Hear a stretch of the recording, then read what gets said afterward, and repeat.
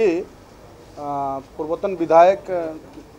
ସେ ଆନ୍ଦୋଳନ କରିଥିଲେ ଯେ ଏକତିରିଶଶହ ଟଙ୍କା ଧାନର ରେଟ୍ କରାଯାଉ ବୋଲିକରି ଆନ୍ଦୋଳନ କରୁଛନ୍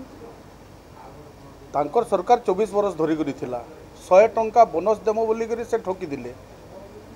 ମାତ୍ର ନବେ ଦିନର ସରକାରକେ ସେ ଆନ୍ଦୋଳନ କରୁଛନ୍ ଯେ ଏକତିରିଶଶହ ଟଙ୍କା ଲେଖା ଆପଣ ନିର୍ବାଚନ ସମୟରେ କହିଥିଲେ ଆପଣ ବିନା କଟନୀ ଚଟନୀରେ ଦେବେ ବୋଲିକରି ନଈ ନ ଦେଖୁ ନଙ୍ଗଲା ଭଳିଆ କଥା ଏଇଟା ସେ ସରକାର ଆସିଛି सरकार जेन प्रतिश्रुति एकत्रीस टा लेखा धान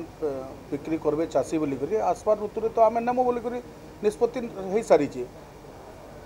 कैबिनेट रे मोहर पड़ी सारी बजेट रे पास हो सरकार जहाँ कही निश्चित रूप से एकत्रीस टा लेखा चाषी धान किणा जाटा भी बिना कटनी चटनी कटनी चटनी करूला किए आके प्रोत्साहन दूला किए तर संपर्क पर आर एम सी सेक्रेटरी अच्छा ଯିଏ କଟନୀ ଛଟନୀର ବାଦଶାହ ହେଇଥିଲେ ତ ଆମର ଗ୍ୟାରେଣ୍ଟି ବିନା କଟନୀ ଛଟନୀରେ ଆଗାମୀ ଦିନରେ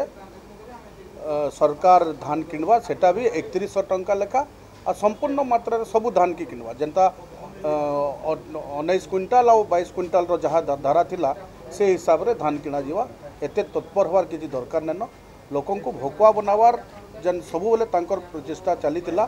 ଆଉ ଲୋକ ଉଚିତ ଜବାବ ଦେଇସାରିଛନ୍ তো লোকক কো ভোকো বনাবর চেষ্টা না করবে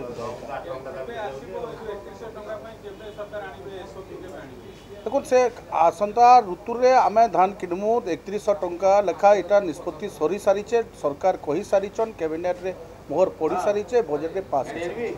নিশ্চিত রূপরে চাছি বেচিনদার রহবার কথা যে তাকর ধান 3100 টঙ্কা লাগা বিক্রি হওয়া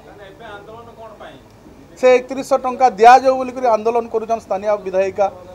ସେ ପୂର୍ବତନ ବିଧାୟିକା ସ୍ଥାନୀୟ ପୂର୍ବତନ ବିଧାୟିକା ଆମର ଆନ୍ଦୋଳନ କରୁଛନ୍ ଏକତିରିଶଶହ ଟଙ୍କା ଲେଖା ଦିଆଯାଉ ବୋଲିକରି ଟିକେ ଧୈର୍ଯ୍ୟ ଧରୁନ୍ ଚବିଶ ବରଷ ଧରିକରି ଲୁଟିଥିଲେ ଚାଷୀଙ୍କୁ ଏବେ ଚାଷୀଙ୍କର ଲାଗି ଯେନ୍ ଦେଖାବା କରୁଛନ୍ ସେଥିରୁ ଦୂରେ ରହୁଛି ଧନ୍ୟବାଦ